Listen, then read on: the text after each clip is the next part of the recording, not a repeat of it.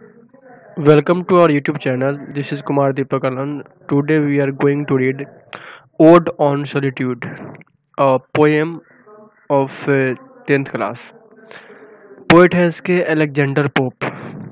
Alexander Pope 1688 to 1744 was one of the greatest satirists of the early 18th century. Alexander Pope जो कि सोलह सौ सत्रह सौ चौवालीस तक रहे, वे अठारहवीं सेंचुरी के शुरू वाले जो दिन थे, शुरू वाले समय के जो सबसे महानतम जो व्यंग रचनाकार थे, जो कि व्यंग लिखते थे, उनमें से वे एक थे। ही वॉज़ ऑल्सो क्रिटिक वे एक समालोचक भी थे। आलोचक कह सकते हैं आप इसे।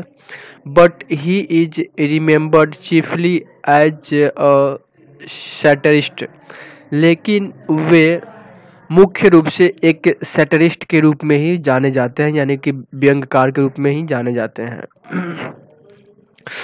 This vein of his poetry is best expressed in rape of the lock the Dunciad and the epistles two of his other famous works are essay on criticism and essay on man तो उनकी जो मुख्य रचनाएँ हैं, उनकी जो मतलब poetry है यहाँ पे तो वो किसमें है? मुख्य रूप से एक्सप्रेस की गई है तो the rape of the lock rape of lock में की गई है।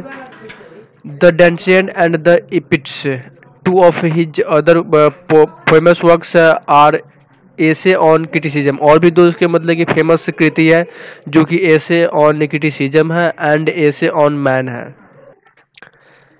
Ode is a poem addressed to a person और एन ऑब्जेक्ट ओड एक ऐसा पोएम है, एक, जिसमें कि किसी चीज़ या किसी पर्सन के लिए एड्रेस की गई है, संबोधित की गई है इसमें। The Greek word ode meant a कोडिक song generally accompanied by dance ये जो वर्ड है, ये ग्रीक का वर्ड है जिसका मतलब होता है एक कोरिक सॉन्ग, यानी एक गाना समझ सकते हैं आप? एक गाना होता है, सामूहिक गाना होता है, जिसमें कि क्या होता है कि डांस के साथ उसको की जाती है। डांस और गाना दोनों साथ साथ होता है। The term is presently used today for to long meditative lyric poems that in dignified manner address a noble subject लेकिन अभी जो ये टर्म है, ठीक है ओड का तो यहाँ पे हम लोग उसका यूज़ किए हुए हैं एक लंबे और मेडिटेटिव लिरिक पोएम के रूप में। यानी कि यहाँ पे ओड होगा वो पोएम है, ठीक है? और लिरिकल है, उसमें लिरिक भी है, और लंबी पोएम है ये। That in dignified manner addressed और नोबल सब्जेक्ट जो कि एक नोबल सब्जेक्ट को एड्रेस करने के लिए मतलब है, जो कि एक नोबल सब्जेक्ट को एड्रेस करता है, संबोधित करता है।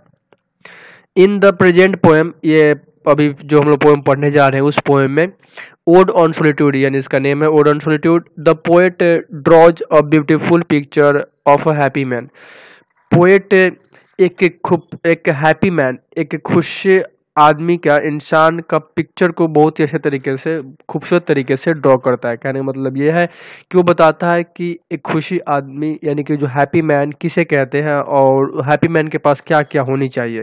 वो हैप्पी मैन होने के लिए वो क्या करता है? ठीक है? इसके बारे में वो बताता है। तो ओड ऑन सोलिट्यूड का जो लेसन का मीनिंग होगा, यानी कि जो पोएट पोएम का नेम है ओड ऑन सोलिट्यूड तो इसका मतलब होता है अकेलापन पे गीत। यानी फटूट मतलब था अकेलापन। कोई भी नहीं। और गीत, और मतलब गीत कह सकते हैं आप इसे, अकेलापन पे गीत। ठीक है? शुरू करते हैं। Happy the man whose wish and care of few paternal acres bound content to breathe his native air in his own ground देखिए happy the man whose wish and care मतलब इंसान वही, यानी कि वही इंसान खुश है, ठीक है, जिसकी इच्छाएँ और चिंताएँ बहुत कम है। यानी कि जिसके पास से विश भी कम है, चिंता भी कम है। और फ्यू पैटर्नल एकर्स बाउंड और जिसके पास कुछ मतलब एकड़ ज़मीन है, जो कि अपने उसके पापा से या अपने मतलब कि पैटर्नल ज़मीन है वो, यानी कि अपने पैतृक संपत्ति है वो, ठीक है। तो जिसके पास कुछ एकड़ मतलब पैतृक संपत्ति हो, यानी कि ज़मीन हो उसके पास content to breathe in his native air in his own ground और अपने ही मतलब की ज़मीन में, अपने मतलब गाँव में जहाँ उसका जन्म हुआ है, जहाँ उसका पान पोषण हुआ है, वहाँ पे वो मतलब कि सांस लेकर के संतुष्टि प्राप्त करता हो। यानी कि सांस ले, वो संतुष्ट हो वहाँ पे, उसकी हवा में। पूरे का मतलब ये हुआ कि वही इंसान खुश है, जिसके पास इच्छा कम है, चिंता कम है, और वो कुछ ही उसके पास से अपने पैतृक के, यानी कि पैटर्नल एकड़ ज़मीन है उसके पास। कहने का मतलब कि पापा से मिला हुआ उसका ज़मीन है उसके पास, ठीक है? और फिर उसको मतलब कि अपने नेटिव एयर में सांस लेने से वो संतुष्ट होता है। इस तरीके से वो इंसान क्या है कि हैप्पी है। Whose herds with milk whose fields with bread, और वही इंसान खुशी है जो उसके मवेशी उसे दूध देते हैं और उसके खेतों से उसे रोटी मिल जाती है। Whose flocks supply him with attire और उसके जो मवेशियों की जो झुंड है, वहाँ से उसे कपड़ा मिल जाता है। जैसे कि वो भेड़ पालन करेगा तो उसे कपड़ा मिल जाएगा। तो भेड़ उसे कपड़ा देते हैं, पशु उसे दूध दे देते हैं, खेत से उसे रोटी मिल जाती है। Whose trees in summer yield him shade in winter fire और जिसके पेड़ क्या करते हैं कि गर्मी के दिनों में छाया देते हैं और जाड़े के दिनों में लकड़ी देते हैं ताकि वो जला करके वो गर्मी पैदा कर सके। तो वही इंसान खुश होता है। Blessed who can unconcernedly find और वही इंसान खुश है या फिर भाग्यशाली आप कह सकते हैं, जिसकी चिंताएँ बहुत कम है और जिसकी इच्छाएँ बहुत कम है। Hours days and years slide soft away जिसके घंटे, दिन और साल वो बिल्कुल ही आराम से गुजर जाते हैं, वही इंसान खुश होता है।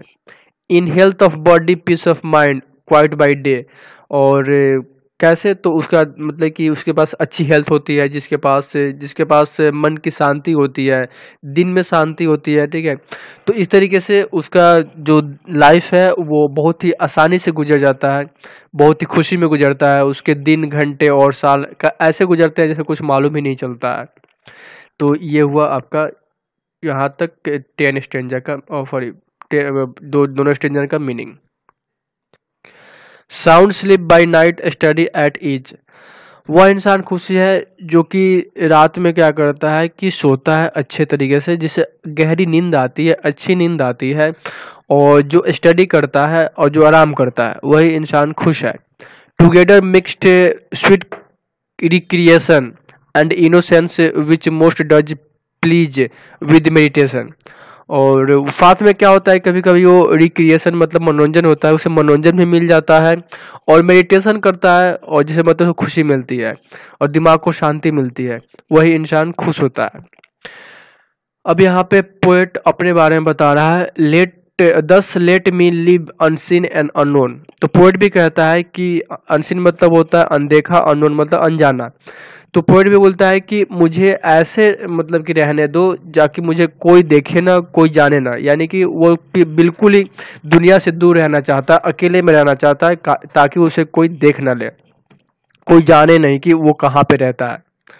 Thus unlamented let me die और पोइट कहता है कि मैं जब मरूं तो उस समय मेरे मरने पे कोई रोए ना, कोई दुख ना करे, कोई कोई मतलब कि बिलाप न करे कोई आँसू न बहाए मुझे ऐसा मर, मरने दो। Still from the world and not a stone tell where I die और मुझे जब मैं मर जाऊँ तो फिर दुनिया से बिल्कुल ही अलग। मतलब चुरा करके तो यहाँ पर मतलब ये होगा बिल्कुल दुनिया से अलग। मुझे ऐसे जगह दफनाया जाए कि वहाँ पे मुझे कोई देखे नहीं और जहाँ पे मुझे दफनाया जाए वहाँ पे कोई पत्थर न लगाया जाए ताकि पहचान में ये आ जाए कि हाँ मैं कहाँ पे मरा हूँ। ताकि लोग ये ना जान जाए कि मैं कहाँ पे मरा हूँ। यानी कि जहाँ पे कब्र होती है तो वहाँ पे पत्थर लगाई जाती है, उस पर नामों का लिखा जाता है। तो ये बिल्कुल नहीं लगाना है। मुझे दुनिया से बिल्कुल ही दूर रहना है और दुनिया को नहीं बताना है। कुछ वर्ड्स है यहाँ पे। पैटर्नल का मतलब होता है वही इनहेरिटेड फ्रॉम फादर पापा से प्राप्त। कंटेंट मतलब होता है सेटिस्फाइड संतुष्ट नेटिव ईयर मतलब ईयर ऑफ़ वंस होमलैंड यानी कि जहाँ पे जन्म जिसका हुआ है, वहाँ का हवा, हर्ट्स मतलब कैटल मवेशी अटायर मतलब कपड़ा होता है। रिक्रिएशन मतलब एंटरटेनमेंट मज़ा। मेडिटेशन मतलब ध्यान कह सकते हैं आप इसे। अनलेमेंटेड मतलब अनमोन्ड नॉट वेरी सैड बिलाप, न बिलाप किया हुआ, बिलाप नहीं करना। अनकंसर्नडली इन अनट्रबल्ड मैनर और नॉट इन वरीड और एंक्सस मैनर यानी कि बिल्कुल ही चिंतित नहीं, चिंता से दूर। लाई मतलब होता है दफनाना।